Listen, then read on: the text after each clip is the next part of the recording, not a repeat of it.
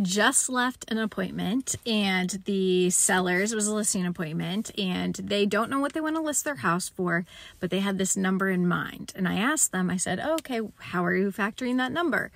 They were using price per square foot which is what agents do use to um, you know compare homes and come up with a price However, they were including the square footage of their basement when they were um, factoring the price per square footage in their home. So they were getting a number that was about $40,000 more than what I would have suggested listing at.